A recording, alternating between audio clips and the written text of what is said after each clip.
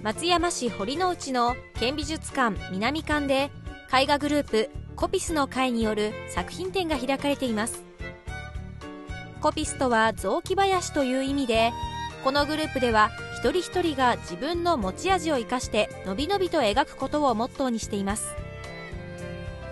年に一度行われているこの作品展には油絵水彩デッサンなど25人の会員が思い思いに描き上げた数多くの作品が展示されています。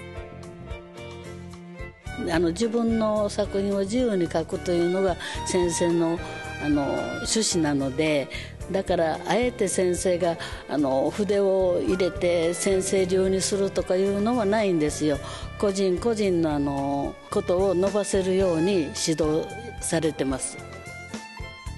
自分の思いが入ってるのがたくさんあるからどれを見てください言うんじゃなくてやっぱり全体見ていただきたいと思います。大体あの水彩の方で描いたものを油で今度起こし直して出す時は油で出してます。やっぱり皆さんの作品見る時ですね。それぞれ個性があってね楽しいですよ。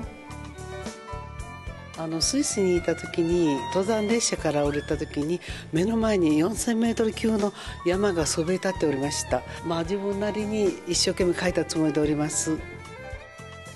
このコピスの開店は6月28日日曜日まで。松山市堀之内の県美術館南館2階で開かれています。